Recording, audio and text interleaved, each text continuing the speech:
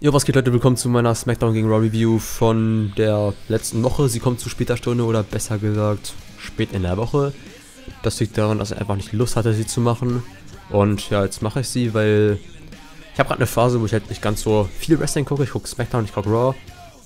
Aber sonst NXT und Lucha Underground, wie ich sonst immer mache, eigentlich nicht so richtig. NXT so ein bisschen. Und naja, bin halt gerade eigentlich am Star Wars gucken, dass eine Phase auch wieder bald vorbeigehen wird. Und deswegen möchte ich, wenn ich jetzt später so am Kanal bei der Historie runterscrolle, wäre es kacke, wenn dann hier für diese Woche eine Review fehlt. Deswegen werde ich das dann jetzt auch machen. Und ja, ich starte mal direkt mit Raw. Roman Reigns kommt am Anfang raus und sagt, dass seine Familie die WWE seit langer Zeit repräsentiert. Er ist die Guy. Und weil er der erste US-Champion in seiner Familie ist, ist halt geil. Dann kommt Lana, sie sagt, dass Rusev ihn zu einem Rematch herausfordert. Reigns sagt, dass Rusev sich anscheinend nicht traut rauszukommen. Dann kommt natürlich Rusev, es gibt einen Brawl und Rusev schickt Reigns mit einem Tritt über die Absperrung. Mein Handy hat mal wieder vibriert, wie es oft in diesen Reviews hier der Fall ist. Dieses Mal werde ich nicht drauf gucken, ich muss jetzt einfach mal beiseite legen. Und ja, steht dann mit dem Titel auf der Rampe. Es wirkte so, als wenn er jetzt einfach, dass ich denken würde, yo, ich klaue mir den jetzt einfach mal. Aber dann kommt natürlich Roman Reigns mit einem Superman Punch noch einmal von hinten. Und es ist angekündigt worden, dass das Rematch eine Hell in a Cell Match sein wird. Und ja, ich bin jetzt nicht sonderlich gehypt für das Match, weil man das jetzt doch schon oft genug gesehen hat. Ich glaube, ein Käfig, das kann ganz cool werden. Aber wird jetzt auch nicht so extrem krass werden. Also ist auf jeden Fall nichts, worauf ich mich jetzt so extrem krass freue. Ist okay. Aber die Fehde sollte danach auch bitte beendet sein.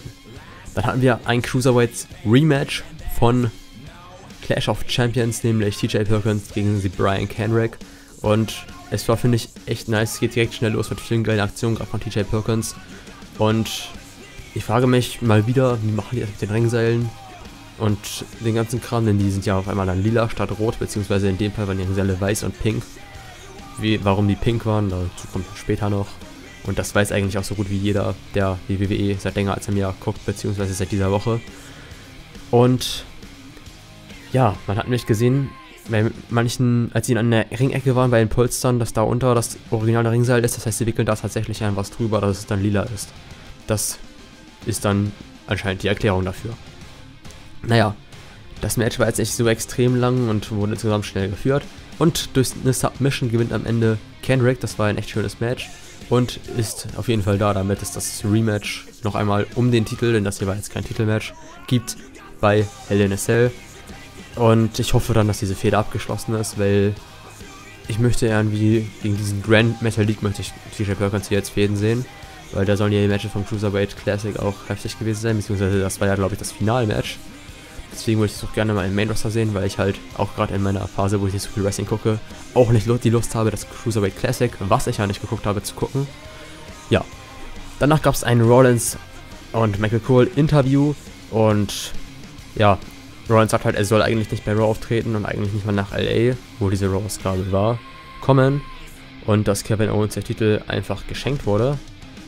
Und er ihn sich halt selbst geholt hat. Das ist immer, naja, so ein bisschen so ein zweischneidiges Schwert, weil wie er ihn dann verteidigt hat, das ist ja, denke ich mal, bekannt. Und er sagt, dass Owens ihn nicht ersetzen kann. Und ja, dass er die Kevin Owens Show canceln wird und er immer noch The Man ist. Mir gefällt dieses Aufbauelement, dass er halt jetzt, also die Art und Weise, wie da rangegangen wird, dass er halt sagt, nö, der ersetzt mich nicht, ich bin immer noch The Man, mir gefällt das Ganze. Also mir gefällt die ganze Feder an sich relativ gut. Naja, dann hatte Braun Strowman mal wieder sein Jobber-Match und ich fand den Jobber, muss ich mal sagen, den fand ich echt geil am Mic. Und ich fand der Jobber sah aus wie ein fetter CM Punk, als er noch lange Haare hatte, ohne Tattoos. Und naja, er hat ihn halt einfach kurz und schmerzlos, äh, und schmerzvoll natürlich, zerstört. Und dann wird halt gefragt, jo, was kommt als nächstes? Und Strowman sagt, jo, Foley, du Lappen. Ich habe keinen Bock mehr, mein Talent hier verschwenden zu lassen. Ich möchte nächste Woche einen richtigen Gegner. Das heißt, für die nächste Raw-Ausgabe wird es spannend, wer der richtige Gegner von Braun Strowman werden wird. Wahrscheinlich wird es eher ein normaler Superstar, der auch squashed wird. Also irgendwie sieht es für mich im Moment so ein bisschen so aus, als wenn der langsam ins Titelgeschehen kommen wird. Also bitte nicht, das will ich nicht unbedingt sehen. Naja, also am Mike hat auf jeden Fall Braun Strowman auch seine Stärken, hat eine epische Stimme, wie ich finde. Danach waren Sascha Banks und Bailey backstage und ja, es wird angekündigt, dass das Women's Match um den Titel, das ja für die Raw angekündigt war, das Main Event Match sein wird. Und damit sind sie das erste Mal seit Trisha und Lita in 2004 war das, glaube ich, dass die Frauen eine Raw Main Eventen dürfen. Und das finde ich, haben sie sich auch verdient. Man sieht richtig bei Sascha Banks, dass sie sich extrem darauf freut, dass sie es erreicht hat, dass die Women's, also nicht nur sie, dass alle Women's Wrestlerinnen, gerade die Four Horsewomen, es erreicht haben, dass die Women eine Raw Main Eventen dürfen. Das finde ich ist echt schon cool. Ja, finde ich einfach nice. Ja, danach kam Kevin Owens in den Ring, um Rollins zu antworten. Ich habe gerade Luft im Bauch, deswegen muss ich öfters mal irgendwie stoppen. Deswegen nicht zu wundern. Und ich bin müde, weil gerade Schule und deswegen bin ich müde. Naja, Chris Jericho ist auch dabei. Der hatte seine List of Jericho am Start. Und ja, uns geht direkt auf das Interview ein und sagt so, ach, by the way, cool, you're terrible. Finde ich nice, wie immer auf äh, Michael Cole. Und Baron Sexton, jetzt hier nicht, aber sonst auch immer eingeht und sie platt macht. Feiere ich auf jeden Fall ziemlich. Und ja, er meinte halt, ja, warum sollte Seth Rollins ein Rematch bekommen? Und Jericho sagt dann, ja, ich bin jetzt hier nur im Ring, weil Owens und ich beste Freunde sind. Ja, wir sind halt cool. Und naja, dann sagt Owens, Jericho sollte der Referee vom Rematch sein. Und, oder war das Jericho? Weiß ich gerade gar nicht mehr. Und dann wird auf jeden Fall, läuft es auch davon aus, dass Jericho dann sagt, und Owens halt auch, ja, das Jersey, was Chris Jericho hat, das ist jetzt sehr, halt sehr teuer, ne? Halt, wie er es auch mit seinem Schal und den ganzen Kram so macht, das finde ich ist auch nett. Und ja, Jericho sagt dann aber, ey, das ist eine ganz gute Idee, aber wie wär's denn, wenn wir beide den New Day um die Tag Team Titel herausfordern? Und ja, dann würden sie halt Geschichte schreiben, weil sie, sie beide zur selben Zeit Universal und Tag Team Champs werden. Das finde ich lustig. Wie ich auch immer sagt, wir sind der Universal Champion, so in der Art. Und Jericho sagt dann auch, dass Ke äh, hier Dings. Kevin findet das dann aber nicht so geil. Denn, ja, das sieht man einfach sein Gesicht. Jericho hakt dann nach, dass es jetzt nicht so wäre, als dass er Owens nach einem Titel, einer Titelchance fragen würde. Da ging auch ein schönes Raum durch die Menge, das fand ich echt nice. Und Kevin dann auf einmal richtig nett. Und so, ja Mann, alter Chris, die Idee mit den Tag Team Championships, das ist eine super Idee. Ja, fand ich mal wieder echt unterhaltsam von denen durchgezogen. Dann kommt der New Day und sie sagen, ja, wir sind besser befreundet als Chris Jericho und Kevin Owens. Und naja, der New Day kommt halt einfach auf die Liste. Und ja, Big E kommt dann auch nochmal einzeln auf die Liste. Xavier Woods lacht ihn deswegen aus. Und dann kommt er auch rauf und, und er so, no, no. Also er nimmt das so richtig ernst. Das feiere ich einfach extrem. Und ja, dann versucht Woods noch Owen zu dissen mit When was the last time you just jumped over anything?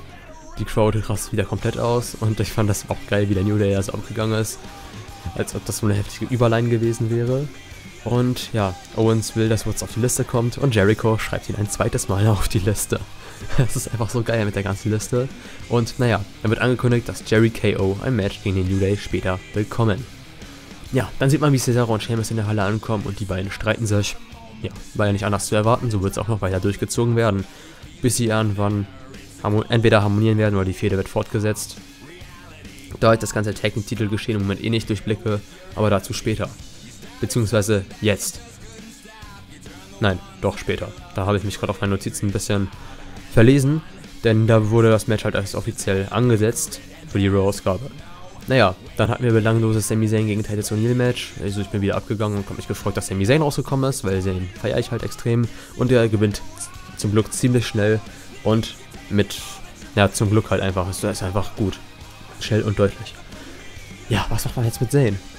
Was macht er da gerade überhaupt? Der hat schon wieder keine Fehde und die Fehde gegen Jericho hat dann ja immer klar verloren, da ja nichts mehr kommt. Also ich kann das echt nicht nachvollziehen. Und ich kann einfach nur hoffen, dass da irgendwas für Zane kommt, weil was soll das? Die versauen Sami Zayn komplett. Das ist Potenzial, was hier nicht genutzt wird. Und das regt mich einfach auf.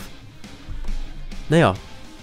Auf jeden Fall war dann Foley bei Cesaro und Sheamus. Und er sagt halt, was er auch schon letzte Woche gesagt hat, ich glaube an euch und ihr sollt zeigen, was ihr, ja, ihr halt drauf habt.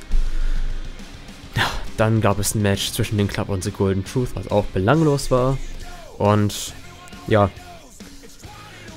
die kriegen nicht mal einen Entrance. Carl Anderson und Luke Gallows.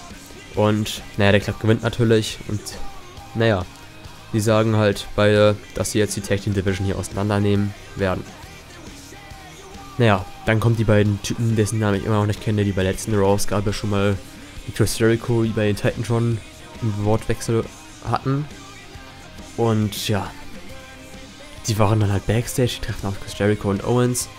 Und naja, die klauen dann erstmal die List of Jericho und lesen daraus vor. Und dann steht auf der List of Jericho. Okay, Stupid Idiots halt. Superstars, die bei WrestleMania gegen Fandango verloren haben. Das finde ich immer noch so genial, wie Jericho immer wieder damit aufgezogen wird, dass er gegen Fandango bei WrestleMania verloren hat.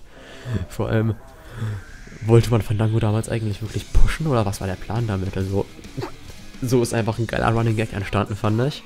Und naja, die beiden sagen, sie sind wie Brüder. Chris Jericho sagt daraufhin, dass Owens und er wie Zwillinge sind. Und naja, dann sagen die beiden komischen Promis, nicht Promis wie auch immer, die ich nicht kenne, ja, dass sie halt dabei sein werden bei dem Tag Team Match. Und Jericho sagt, okay, haltet euch aus diesem Match raus. Sonst bekommt ihr, geht raus aus der, dem Bild, kommt aus der anderen Seite wieder rein. It's! Von einer anderen Position. Das fand ich wieder so lustig und awesome. Also wenn ich awesome bei dieser Raw oft sage, dann im Verbund mit Jericho und Owens, weil die beiden immer das Highlight der Raw sind vom unterhaltungstechnischen Faktor, finde ich. Naja, auf jeden Fall haben wir dann im Ring Enzo und Cass mit drei äh, Frauen, die den Krebs besiegt haben. Denn diese, dieser Krebskram hier mit dieser Susan G, ich weiß gar nicht, wie es weitergeht, wie diese Firma da heißt, das ist ja jeden Oktober, da ist das mittlere Ringseil pink gefärbt. Es ist eine sehr nette Aktion von der WWE. Man muss jetzt für sich selbst entscheiden, ob man das jetzt bei einer Wrestling-Show bringen möchte oder nicht. Ich sehe da jetzt keinen großen Sinn drin und bin auch eher der Meinung, dass es eigentlich nicht so komplett reingehört. Aber trotzdem gönne ich denen das und würde die auch niemals da ausprobieren, wenn die da wären, weil sie haben halt einfach den Krebs überlebt und das ist eine schöne Sache. Und es ist für einen guten Zweck, deswegen kann ich darüber hinwegsehen. Und wie man erfährt, ist auch die Partnerschaft jetzt auch seit fünf Jahren, ist ja auch ein schönes Jubiläum. Und ja, dann macht er noch ein Wortspiel mit statt Susan G halt Susan Certified G. Und dann bekommen sie alle einen Women's-Titel, weil sie survived haben. Ein Raw Women's-Titel, natürlich.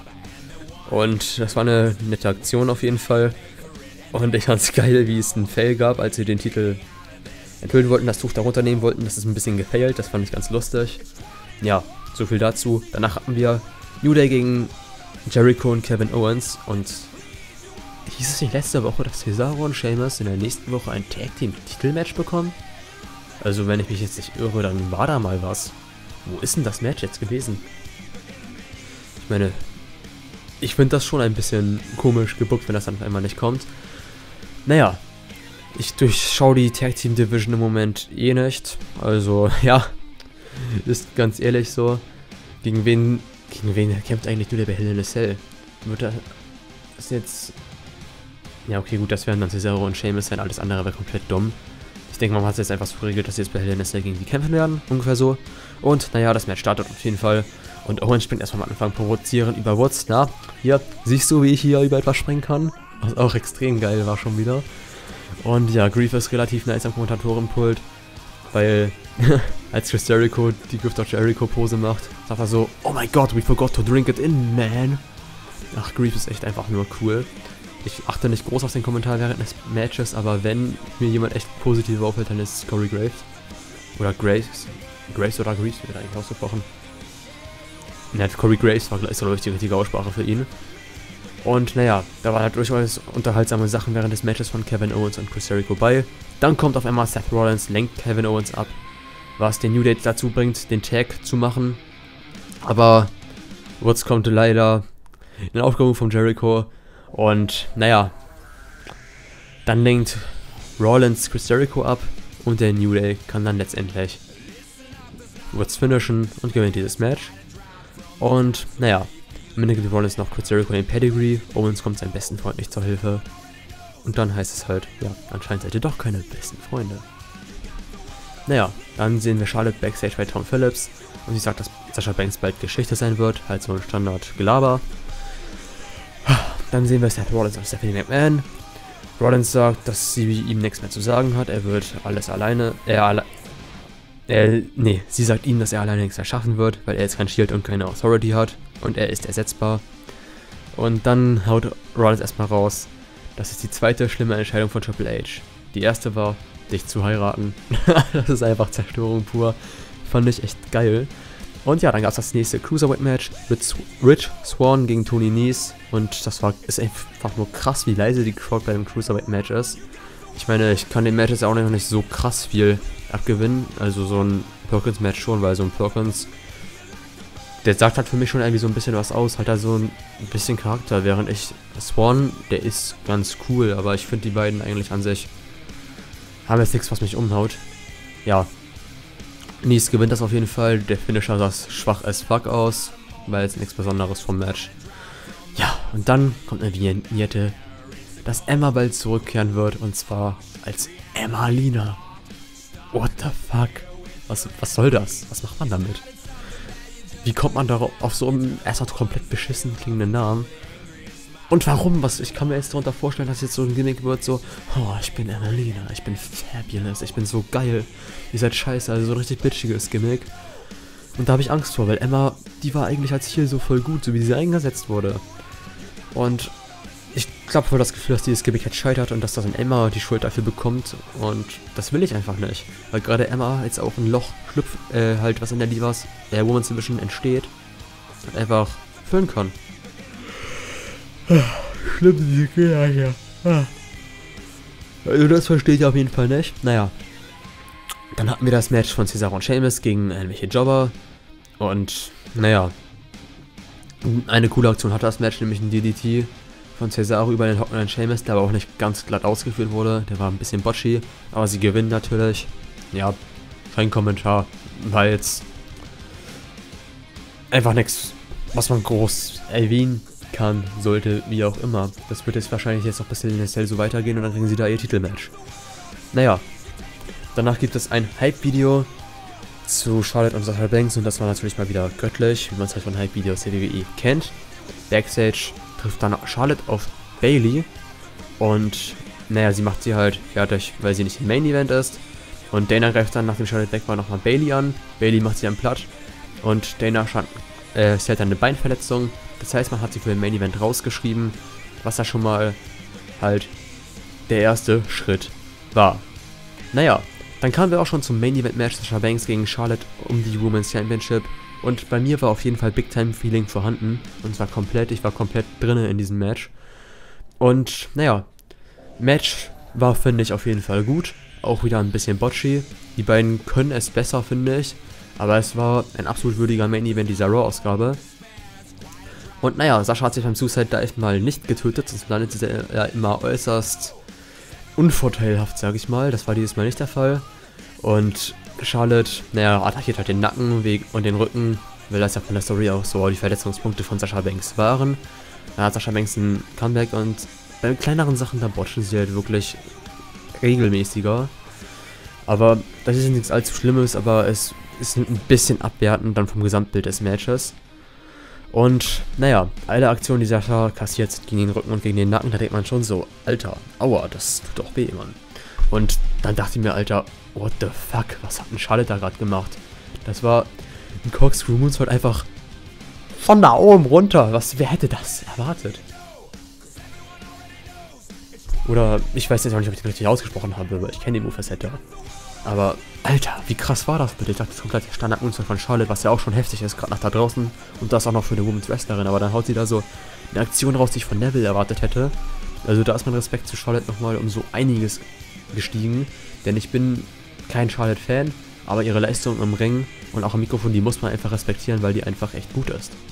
Und, Alter, das Match, finde ich, war, hatte auf jeden Fall dieses Awesome Chance verdient. Ich weiß gerade gar nicht, ob es die gab. Ich glaube, vereinzelt gab es die sogar. Und ja, dann gab es halt das Bank-Statement von Sascha Banks und ein Einroller, danach von Charlotte wie beim SummerSlam. Aber Sascha kommt raus, es gibt wieder das Bank-Statement und Sascha Banks ist Champion. Und ja, das finde ich auf jeden Fall erstmal richtig geil, weil ich könnte so krass und ich hoffe, ihr Run wird länger gehen. Aber ich frage mich echt, wo will man jetzt darauf hin? Man hat kaum Moment im Roster, um langfristig viele verschiedene Fäden zu machen. Und die großen Momente die werden dann einfach bei einer Raw verschleudert. Also tut mir leid, das finde ich ist jetzt nicht unbedingt zielführend. Also das hätte ich beim Pay-Per-View echt lieber gesehen. Aber ich denke, man hat das jetzt gemacht, um dann als Rematch jetzt halt ein Hell in a Cell Women's Match zu machen, wo man dann es auch hätte so machen können. Deswegen, ich verstehe es nicht, warum das jetzt bei der Raw passiert ist, dass Sasha Banks gewonnen hat. Ja, ich hoffe auf jeden Fall, dass es ein Hell in a Cell Match gibt, weil es nochmal was anderes gibt, weil sonst sieht man immer dasselbe Match, das wird ja auf Dauer auch langweilig. Und ein Hell in a Cell Women's Match, das ist glaube ich das erste. Ich kann mich auf jeden Fall an keins erinnern, was es gab. Das ist das erste Hell in a Cell Women's Match. Bin ich mir sehr sicher. Und das will ich unbedingt sehen zwischen den beiden, weil ich denke, dass sie auch was raushauen können, was man nicht von ihnen erwartet. Also, ja, so viel auf jeden Fall zu Raw. Ich fand die Raw, die war nicht schlecht, fand ich jetzt. Hatte zwar seine langweiligen Momente, aber dafür auch absolute Highlight-Momente. Wie zum Beispiel halt die Sachen im Main Event. Und ja, dann kommen wir mal zu SmackDown diese Woche. SmackDown begann damit, dass Bray Wyatt kommt und er hatte ein Match gegen Kane und Kane blutete direkt richtig heftig am Mund. Und das sah bei mir eigentlich komplett episch aus, was einfach zur Maske und allem perfekt gepasst hat. Und naja, dann ist Orton auf dem Titantron zu sehen und macht halt Wyatt nach. Und ist halt falsch rum auf dem Titantron zu sehen und sagt halt, dass seine Welt verdreht ist. Also die von Wyatt. Und nach No Mercy wird es hier richtig sein. Dann dreht sich das Bild auf dem Titantron. Das fand ich eigentlich ganz cool gemacht. Und Kane nutzt das dann, um halt Wyatt hier zu stecken. Aber Wyatt kann sich dann aus dem Chokeslam nach dem, auf, dem, aus dem Cover so befreien und geht dann einfach, das heißt es gibt einen Countdown-Sieg vor Kane also das schadet Wild kein bisschen, finde ich, weil das halt so passt, dass er jetzt weggeht und Orten suchen möchte. Aber eine Sache finde ich schade, aber die werde ich später auch noch ansprechen. Naja, danach gab es einen Stairdown zwischen Zack, äh, Jack Swagger und Baron Corbin und ja, sollte halt auf ein Match, was später zwischen den beiden noch folgen wird, hinweisen. Dann waren wir wieder bei White, der Backstage ist. Er sagt, Randy, deine Zeit ist gekommen und macht sich auf die Suche nach Randy Orton, ähnlich wie Orton es letzte Woche mit Wyatt gemacht hat. Und dann hatten wir Nikki Bella gegen Alexa Bliss, eine echt interessante Ansetzung. Und ich muss sagen, endlich mal ein Einzelmatch, weil mir ist auf die Eier gegangen, dass wir jetzt nur Tag Team Matches bei SmackDown hatten. Weil ich Einzelmatches lieber sehe. Und es auf Dauer auch echt langweilig wird. Naja, Carmella ist am Kommentatorenpult und ich denke, da war es jedem klar, wie das endet. Nämlich nicht clean. Denn Nikki schmeißt Alexa in Carmella rein, Carmella greift darauf in Nikki an. Becky kommt ihr dann zur Hilfe, die Faces räumen auf und es gibt ein Tag Team Match in guter alter Teddy Long Manier. Und naja, es endet dann so, dass Nikki Carmella aus der Halle jagt und Alexa den Twisted Bliss macht und Becky Lynch pinnt. Und das ist ja wohl der Beweis nach WWE-Logik, dass Becky Lynch den Titel wahrscheinlich verteidigen wird, weil Alexa zuletzt oben steht. Und das sollte auch eigentlich klar sein, weil für Alexa kommt der Titel zu früh, finde ich. Ja. Aber was an sich und man hat beide Fäden miteinander verbunden und weitergeführt. Also auf jeden Fall auch gut. Naja, auf jeden Fall sieht man dann wieder Wyatt, der Randy Orton sucht. Und er findet tatsächlich den Platz, wo Randy Orton seine Videos dreht. Und ja, geht dann da halt rein, lacht erstmal so richtig schräg und dann kommt Randy Orton und sperrt Bray Wyatt da einfach ein. Wie es mit Rowan letzte Woche gemacht hat, nur halt, ob unbewusst oder unbewusst, keine Ahnung. Ja, und Wyatt rastet da drin dann erstmal aus. Das fand ich so genial, aber ja, ich habe wie schon gesagt ein Problem damit, aber das werde ich gleich auch erst erwähnen. Also, stay tuned, denn erstmal muss ich jetzt etwas trinken, weil mein Hals trocken wird.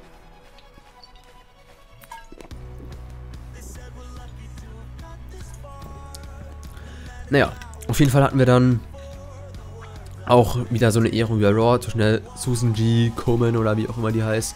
Diesmal war natürlich dann hier Brian am Start, der ist ja bei so etwas dann immer involviert. Und bei SmackDown waren es ganze fünf Frauen, die einen Woman's Title bekommen. Dieses Mal natürlich der von SmackDown. Brian hält eine schöne Promo. Und als dann die Musik äh, einmal angefangen hat, dann sagt er, hey, mach die Musik aus. Ich entscheide hier, wenn ich gehe. Ich bin der verdammte General Manager. Fand ich ganz lustig. Und was ich zu diesen, von diesen Segmenten halte, habe ich bei Raw schon gesagt. Dann hatten wir ein Tag Team Match, die World Villains gegen die Hype Bros und die gewinnen halt schnell den Hype Rider. Dann sieht man die Ascension draußen stehen, das heißt, es gibt anscheinend eine Ascension-Fehde äh, für die Hype Bros, die dann wahrscheinlich die Hype Bros gewinnen werden. Was ich echt schade finde, weil ich die Ascension halt einfach gerne mag. Und sie mit einem richtigen Aufbau echt ein richtig geiles Tag Team, die auch Tag Team Champions werden könnten, werden können. Aber man muss halt etwas machen, um noch eine andere Tag Team zu haben bei SmackDown. Deswegen gibt es die halt und ich bin aber nicht wirklich interessiert daran. Dann gab es Missy wie die Geschichte von Dolph Ziggler wurde erläutert, mit Dolph Ziggler natürlich als Gast. Und sie gucken sich dann natürlich Ziglers Geschichte an. Es war sehr schön, denn es war halt extra gegen Sigler geschnitten, als ob er keine Freunde hätte und ein Loser wäre. Wie es halt passend von Susumis Charakter auch ist. Und dann wurde angekündigt, nach Backlash eine WWE 24 Ausgabe die, die einfach über Dolph Ziggler geht. Ich meine, what the fuck, war das jetzt einfach nur innerhalb dieser, dieses Videos so oder kommt das jetzt wirklich? Weil, ja, das würde ich echt nice finden, wenn das wirklich kommen würde. Gerade da er Ziggler das Match auch wahrscheinlich verlieren wird. Naja, Ziggler sagt dann, dass er nicht aufgeben wird. Es wirkt ein bisschen wie eine China-Promo, weil er sagt, dass die Kinder hier halt sagen, du bist mein Held und er erwähnt die halt Make-A-Wish. Und ja, er gefällt mir wieder super am Mike und Miss wird ihn die Karriere nicht kosten und dann, what the fuck, der Spirit Squad, zumindest zwei Mitglieder von diesem kommen. Und ja, ich fand sie ganz lustig, denn ich war nie Wrestling-Fan, als sie halt aktuell in der WWE waren. Aber alte Sachen, die ich gesehen habe, dachte ich mir auch ganz lustig. Aber ich fand die jetzt hier einfach nur komplett nervig. Die haben da ein bisschen mit Sigler rum, attackieren ihn am Ende so ein bisschen. Sigler macht sich halt alle platt und kriegt dann auch so ein bisschen in die Flucht. Ja, also Sigler nochmal schön oben stehen lassen, das ist für mich ein Hinweis, dass er halt verlieren wird, weil ihr wisst, WWE-Logik, wer zuletzt oben steht, verliert wahrscheinlich das Match beim Pay-Per-View.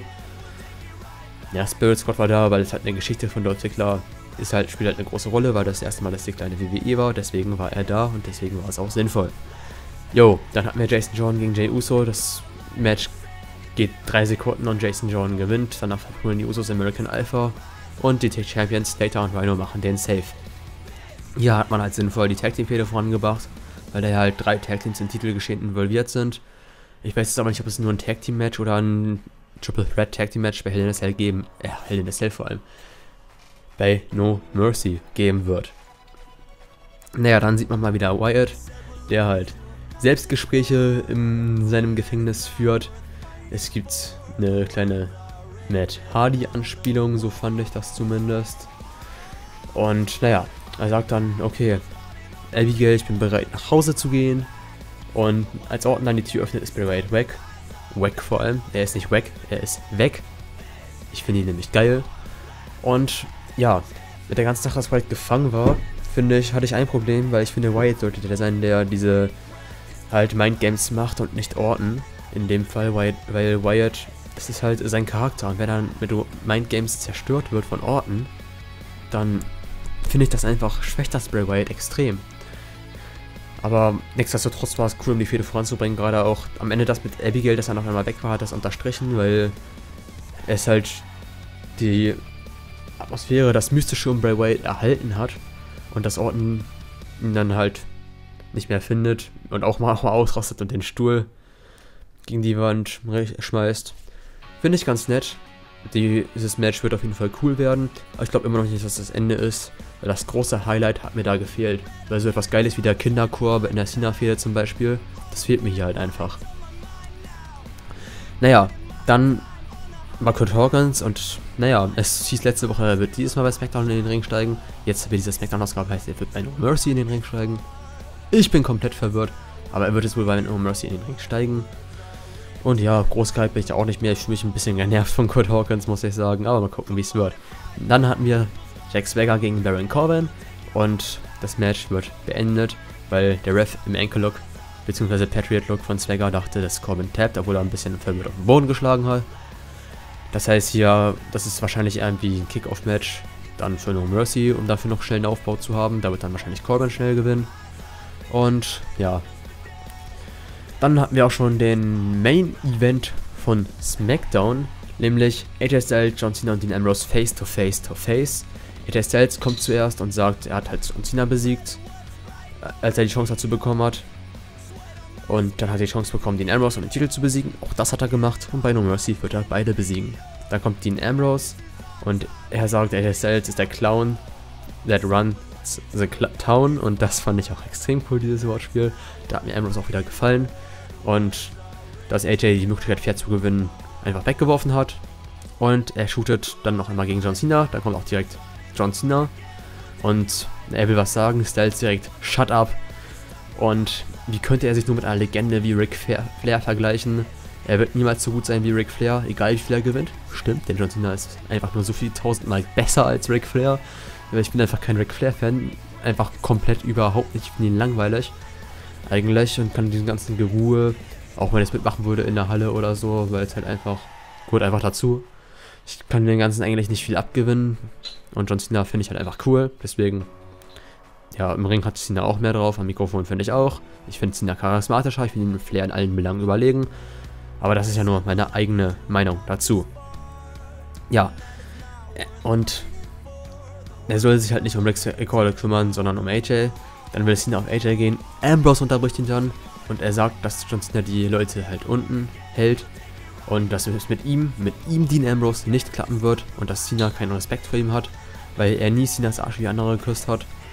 Und naja, dann sagt John Cena, Talk is cheap und es entsteht ein Brawl, wo John Cena erstmal Ambrose angreift und ihn an AA verpasst. Dann nimmt er den Titel und hält ihn hoch, wie auch schon letzte Woche. Aber da es schon letzte Woche das Ende war, war es klar, dass es hier nicht das Ende werden wird. Und gerade das wäre zu schwach gewesen für eine Go-Home-Show. Ähm, naja, dann kommt es mit dem Phenomenal Vorarm, hält den Titel hoch. Dann kommt Ambrose, hat ihn um mit dem Dirty Deeds und hält den Titel auch hoch. Und das fand ich war schön gemacht. So hat jeder einmal den Titel hochgehalten, seinen Finisher gegen jemanden von denen gezeigt. Keiner sah jetzt komplett schwach aus oder so. Und das ist in der letzten Woche ganz oben stand, Ambrose jetzt ganz oben stand. Wir erinnern uns, WWE-Logik. Deswegen wird wahrscheinlich Styles verteidigen. Gerade weil Cena doch, glaube ich, nach diesem Event auch weg sein wird.